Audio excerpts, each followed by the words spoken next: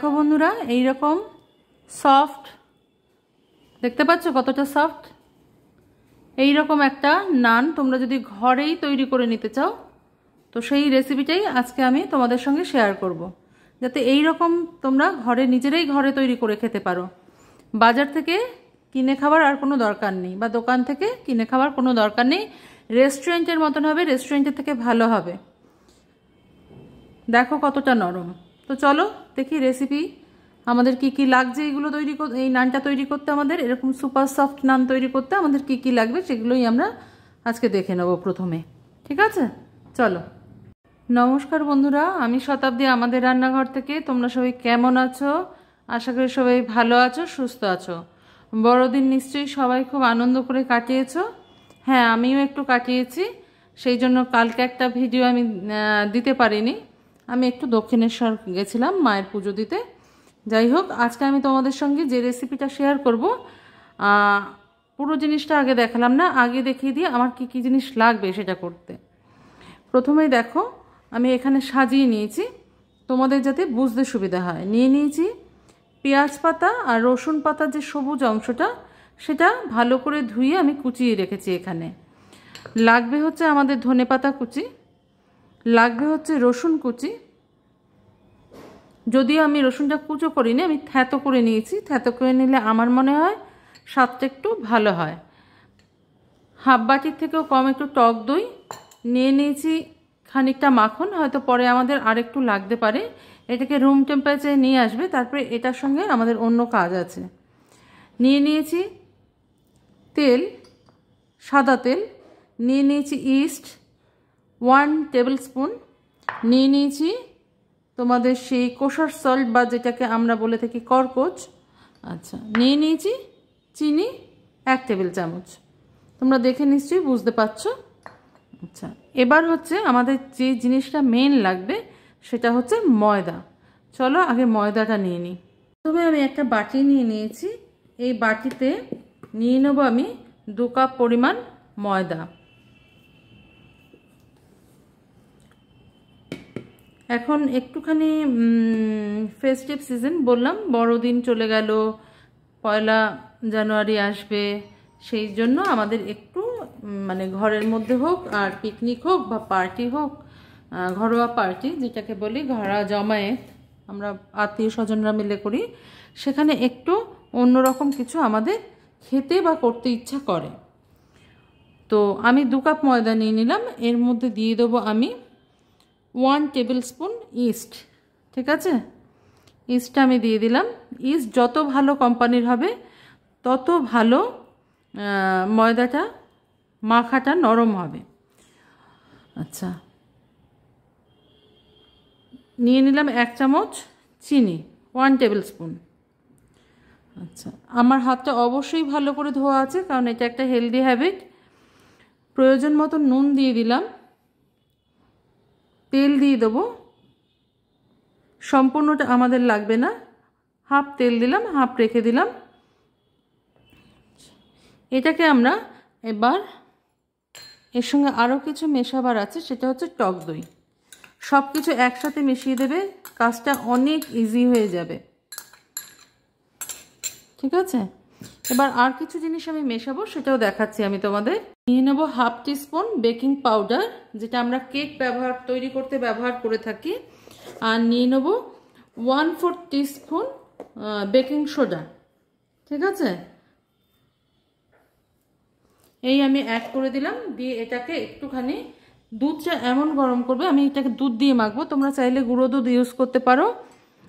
কিন্তু আমি গুঁড়ো দুধ এখানে ইউজ করিনি। যদি ইউজ নাও করো, শুধু দুধ দিয়েও মাখো, সেক্ষেত্রেও তোমরা একটু গুঁড়ো দুধ ইউজ করতে পারো, যাতে এটা আরও বেশি সুন্দর হয়।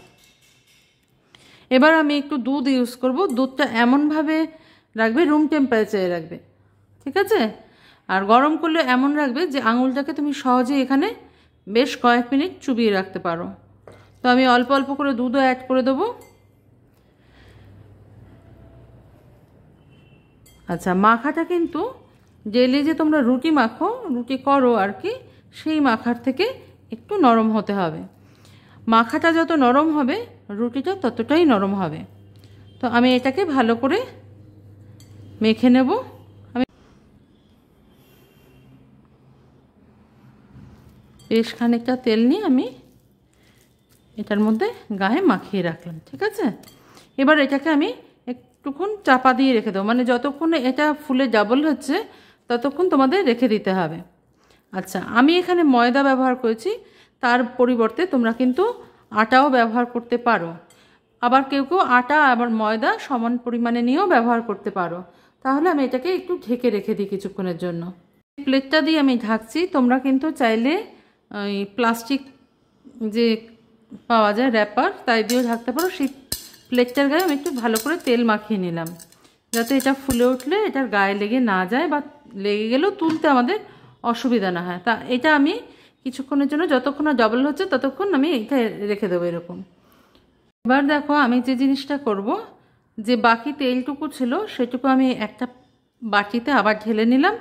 এর সঙ্গে মিশিয়ে দেবো যে বাটার বা মাখনটা আমরা বার করেছিলাম সেটা এটা রুম রুম টেম্পারেচারে থাকলে ভালো হয়। নাহলে কিছুক্ষণ বার করে রেখে দেবে, তারপরে করবে। তাহলে সুবিধা হবে। তেলের সঙ্গে বাটারটা আমি মিশিয়ে নিলাম। আমি জিনিসটা যত সহজে করা যায় সেই চেষ্টাই দেখাই। আমি সেই চেষ্টা করি তোমাদের দেখাবার। অনেকে অনেক রকমভাবে করে থাকেন। আমি যেভাবে বাড়িতে তৈরি করি, বাটার নান, সেটাই আমি তোমাদের সঙ্গে আজকে শেয়ার করছি। তো খুব ইজি ঘরে তৈরি করলে, দোকান থেকে অর্ডার করলে তোমাদের অনেক সময় মানে প্লেন বাটার না প্লেন নান অর্ডার করলে মনে হয়, ইস বাটার নান অর্ডার করলে ভালো হতো। তা এইসবের ঝামেলা, আবার বাটার নান অর্ডার করলে মনে হয়, ইস, শুধু নান অর্ডার করলে ভালো হতো। কখনো মনে হবে, মশলা নান অর্ডার করলে ভালো হতো। তো এইসবের ঝামেলা থেকে বাঁচতে গেলে নিজেরা যদি একটু ঘরে তৈরি করে নিতে পারি, সেটা মানে আরেকটু বেশি সুবিধাজনক হয়। তো এটা আমাদের দেশি মশলা। দিয়ে আমি তৈরি করলাম। তোমাদের সেদিন বলছিলাম, মাখনকে কি করে তোমরা গার্লিক আর হার্ব দিয়ে হার্ব বাটার তৈরি করতে পারো। তো এটা একটা হচ্ছে আমাদের দেশি মশলায় তৈরি। তো পেঁয়াজ পাতা, রসুন পাতা, রসুন কুচি যদি কেউ চাও কাঁচা লঙ্কা কুচিও দিতে পারো এর মধ্যে, বা রেড চিলি ফ্লেক্স যেগুলো হয় সেটাও অ্যাড করতে পারো। তো এটা দিয়ে আমি এটাকে এবার ভালো করে মিশিয়ে রেখে দেবো। এটা আমাদের পরে কাজে লাগবে, ঠিক আছে? তো দেখো তোমরা, মাত্র পনেরো মিনিট সময়ে ময়দাটা কীরকম ফুলে উঠেছে। দেখতে পাচ্ছ তো? আমি তোমাদের দেখাচ্ছি, দেখতে পাচ্ছ? এক্ষেত্রে যারা আমার ভিডিওটা স্কিপ করনি, তাদেরকে একটা স্পেশাল টিপস দেওয়ার ছিল আমার। তাদেরকে না, সবাইকেই দেওয়ার ছিল। তবে যারা রয়েছে তারা বুঝতে পারবে আমি ব্যাপারটা কী কীভাবে করলাম আর কি। যখন তোমাদের মনে হবে যে হাতে সময় কম আছে, অথচ কাজটা তাড়াতাড়ি করতে হবে, তখন কি করতে হবে? এই যে মাখাটা তোমরা দেখেছ, যেরমভাবে ঢেকে রেখেছিলাম, তবে জিনিসটাকে অবশ্যই ওভেন প্রুফ হতে হবে অথবা মাইক্রোওয়েভ প্রুফ হতে হবে। যে জিনিসটা তুমি কাজটা করবে, তোমরা কাজটা করবে। তো যেহেতু আমার এটা দুটোই মাইক্রোওয়েভ প্রুফ সেই জন্য আমি কি করেছি, এটাকে এক মিনিটের জন্য আমি একটু গরম করে নিয়েছি। তার জন্য কি হয়েছে? পনেরো মিনিটের মধ্যেই আমার এই ময়দাটা ফুলে গেছে। এই রইল তোমাদের প্রথম টিপস এই পুরো কাজটাই, মাখার কাজটা এবার এই সারফেসটায় করব। সেই জন্য এই সারফেসটা আমি ভালো করে পরিষ্কার করে একটুখানি ময়দার গুঁড়ো ছড়িয়ে দেবো। ঠিক আছে? বেশি দেবে না। বেশি ময়দা দিলে ভালো লাগবে না কিন্তু। তো এবার আমি এটাকে যাদের খুব মানে জলদি জলদি সব সময় কি সারাক্ষণ কি রান্নাঘরে বসে রান্না করতে ইচ্ছা করে কারণ কিন্তু তাড়াতাড়ি করতে হলে খেতেও ইচ্ছা করবে, একটুখানি করতে হবে। তো আমাদের তখন এই প্রসেসটা ইউজ করতে হবে। এবার আমি কি করব? এই জিনিসটাকে ভালো করে হাত দিয়ে মেখে নেব। পারলে তোমরা দুটো হাতে ইউজ করবে। ঠিক আছে? এই হাতের এই তালুটা দিয়ে ভালো করে এটাকে টেনে টেনে মাখবে। দেখো দু মিনিট ধরে এরকম করে মেখে নেওয়ার পর দু মিনিটও লাগে না সময়। দেখো কত সুন্দর মোলায়েম মসৃণ হয়ে গেছে ডোটা। আগে যেরকম ডোটা একটু রাফ দেখতে ছিল, এখন আর সেই জিনিসটা নেই, এটা পুরো স্মুথ হয়ে গেছে। তো এইভাবে তোমরা একটু মেখে নেবে দু তিন মিনিট ধরে, যাতে কোনো এর মধ্যে লাম্পস না থেকে যায়। ঠিক আছে? তো এটা হয়ে যাওয়ার পর এটাকে আমি আবার একটুখানি দু তিন মিনিট ঢাকা দিয়ে রেখে দেবো, যাতে জিনিসটা সেট হয়ে যায়। তো দেখো কতটা মোলায়েম হয়েছে। দেখে বুঝতে পারছ নিশ্চয়ই? এবার সেই একই বাটিতে আমি একটু ঢাকা দিয়ে রেখে দেবো কিছুক্ষণের জন্য। এখন তোমরা এটা বাইরে রাখলেও পারো, অসুবিধা নেই কোনো। আরেকটা কথা হচ্ছে, সব সময় তো সবার কাছে মাইক্রোওয়েভ বা ওভেনের ব্যাপারটা থাকে না তো যাদের উনুন আছে, তারা গ্যাসেও একটুখানি তাওয়া গরম করে, গ্যাসটা বন্ধ করে বাটিটা বসিয়ে রাখতে পারো, তাতেও কাজ হবে। দেখো তোমরা, আমি গ্যাসটা ধরিয়ে তাওয়াটা এর মধ্যে বসিয়ে দেবো। দিয়ে কত সহজেই তাওয়াটা গরম হতে থাক, ডাউনে রাখতে পারো। স্লো বা মিডিয়ামে যেরকম খুশি তোমাদের রেখে দিতে পারো, তাওয়াটা গরম হওয়া নিয়ে কথা। তো আমি এই তাওয়াটার মধ্যে তৈরি করব আজকে। এবার চলো আমরা রুটিটা তৈরি করে নিই। তো দেখো তোমরা, আমি আটার ময়দাটাকে নিয়ে নিয়েছি এখানে। এবার আমি এটাকে ভালো করে একটু তেল হাতে লাগিয়ে নিয়েছি। একটু ভালো করে এরকম করে মেখে, কিচ্ছু না, এটা আমাদের এখন লেচি কেটে নিতে হবে। নান তো একটু বড় বড় হয়, সেই জন্য একটু বড় বড় লেচি কাটবে। তবে হ্যাঁ তোমাদের তাওয়ার মাপ ছাড়িয়ে গেলে অসুবিধা হয়ে যাবে। আমি এখান থেকে চারটে নান করলাম। তোমাদের চারটে নানই হবে। মানে বড় হলে চারটে থেকে পাঁচটা নান হয়। তো এগুলো আমি একটু তেল মাখিয়ে মাখিয়ে এরকম করে রেখে দেবো। অল্প খাও, ভালো খাও, সুস্থ থাকো সবাই। মাঝে মধ্যে তো একটু এদিক ওদিক হয়ে যায়, বিশেষ করে শীতকালটা। তো এগুলো আমি সব এরকমভাবে রেখে দিলাম। তোমাদের এবার আমি একটা ভাজা দেখিয়ে দেবো, কি করে ভাজতে হবে। কি করে ভাজতে হবে না, আমি কীভাবে করছি সেটা তোমাদের সঙ্গে শেয়ার করছি। তো এটা আমার বেলার কোনো প্রয়োজন নেই, আমি হাত দিয়ে এটাকে আস্তে আস্তে আস্তে আস্তে ছড়িয়ে দেবো এরকম।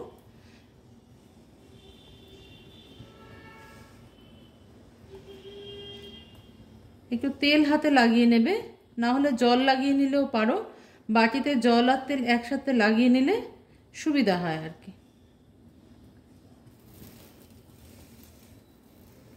তো আমার তাওয়ার সাইজটা যেরকম আছে, আমি সেই তাওয়ার মাপেই এটা শেপটা দিয়ে নিলাম। দিয়ে দেব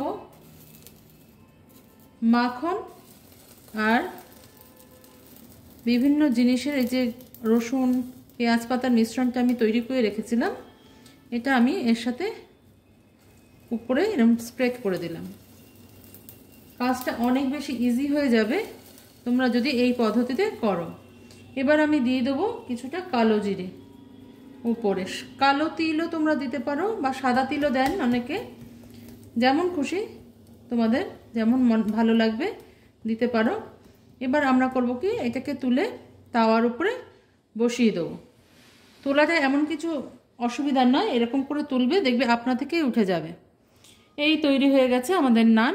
এটাকে এবার আমরা তাওয়াতে দিয়ে নেব। দেখো তাওয়াটা গরম হয়ে গেছে আমার। আমি একটুখানি জল দিয়ে দেবো এর উপরে। জল দিয়ে এই নানটাকে আমি এখানে হাত দিয়ে একটু টেনে নেবে, টেনে নিয়ে এখানে প্রেস করে দেবে।